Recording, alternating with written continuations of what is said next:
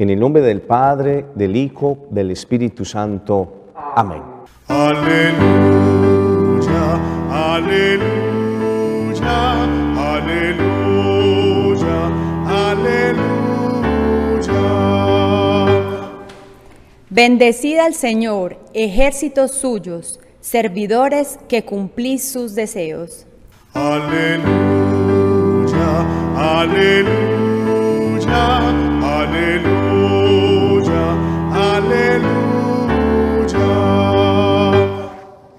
El Señor esté con ustedes. Lectura del Santo Evangelio según San Juan. En aquel tiempo vio Jesús que se acercaba a Natanael y dijo de él, ahí tenéis a un israelita de verdad en quien no hay engaño.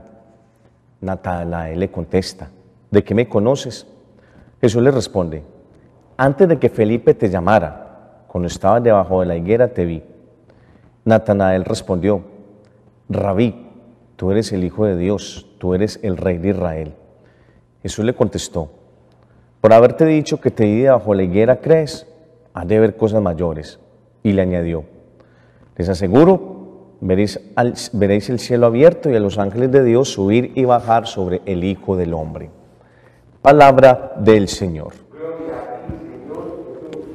Arcángel significa ángel principal. Y la iglesia nos trae precisamente esta fiesta para recordar estos seres celestiales que han sido creados para dar gloria a Dios. El nuevo calendario ha reunido en una sola celebración los tres arcángeles, Miguel, Gabriel y Rafael, cuya fiesta eh, se celebrará respectivamente el 29 de septiembre, el 24 de marzo y el 24 de octubre. Pero el nuevo calendario ha querido unificarlos en una sola celebración. De la existencia de estos ángeles habla explícitamente la Sagrada Escritura, que da el nombre y determina la función de cada uno. San Miguel, que significa quien como Dios, el antiguo patrono de la sinagoga, es ahora, es ahora el patrono de la Iglesia Universal. San Gabriel es el ángel de la encarnación y probablemente el de la agonía en el huerto de los olivos. San Rafael es el guía de los viajeros. San Miguel tuvo un culto especial desde los primeros siglos de la historia del cristianismo. De hecho, el emperador Constantino le erigió un santuario a orillas del Bósforo, en tierra europea, y Justiniano le erigió otro en la eh, orilla opuesta. La fecha del 29 de septiembre corresponde efectivamente a la consagración de la iglesia en el siglo V a San Miguel, a seis millas de la vía Salaria. La festividad se difundió muy pronto en Occidente y en Oriente. En Roma se dedicó el famoso mausoleo de Adriano, conocido con el nombre del Castillo del Santo Ángel.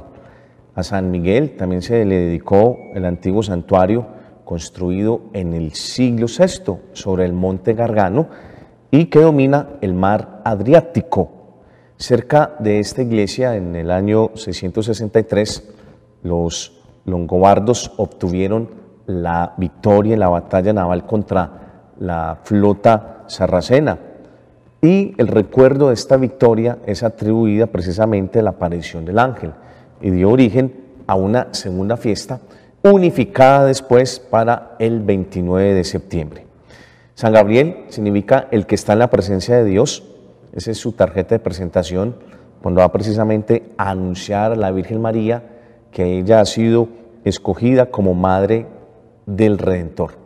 Es el anunciador por excelencia de las revelaciones divinas. Es él quien le explica al profeta Daniel cómo sucederá la plena restauración desde el regreso, desde el destierro hasta la venida del Mesías. A San Gabriel precisamente se le confía la misión de anunciar el nacimiento del precursor, es decir, de San Juan Bautista. Y la misión más alta que se le ha encomendado es anunciar precisamente el nacimiento del Salvador. San Rafael es citado en, en el libro de la Escritura, en, el libro de Tobías. Recuerden que San Rafael es el que acompaña en, el recorrido que Tobías va a realizar, es el que le da precisamente el consejo eh, para vencer al rey, para vencer al demonio Asmodeo, que, le, que había matado ya varios eh, maridos, es el compañero de viaje. Por eso San Rafael es el patrono precisamente de los viajeros. Y a él le da la receta para curar la ceguera del padre de Tobías. Recuerden que el excremento de un ave le cayó a, los ojos y quedó ciego. También se le invoca a, a San Rafael como el curador y etimológicamente su nombre significa Dios ha curado. Tenemos en estos arcángeles eh, seres celestiales que también nos acompañan, salvaguardan a nuestra iglesia. Qué bueno que pudiéramos tener una devoción especial a estos tres arcángeles. Eh, el arcángel eh, San Miguel, que es el protector contra el maligno. Es eh, muy necesario tener la imagencita de- del arcángel Miguel precisamente en los hogares como un signo de protección. También los conductores encomendarse efectivamente a San Rafael para que lo libre de todas las eventualidades que vayan en contra de la integridad de, de- los que viajan en el vehículo. De igual manera, San Raf- a San Gabriel imitarle también las buenas noticias.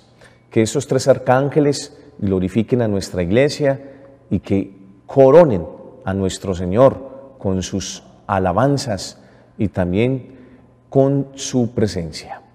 Que la Virgen nos bendiga.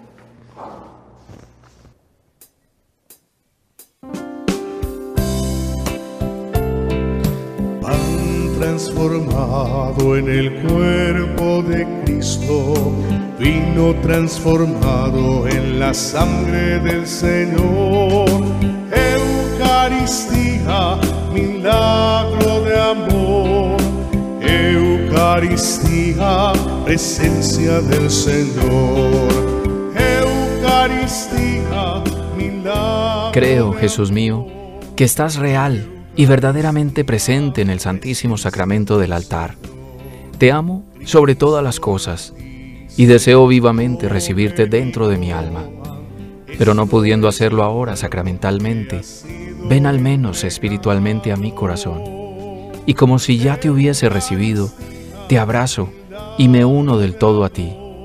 Señor, no permitas que jamás me aparte de ti. Amén. Eucaristía, milagro de amor. Eucaristía, presencia del Señor. Cristo en persona nos viene a liberar de nuestro egoísmo y la división fatal. Eucaristía, milagro de amor. La bendición de Dios Todopoderoso, Padre, Hijo y Espíritu Santo descienda sobre ustedes.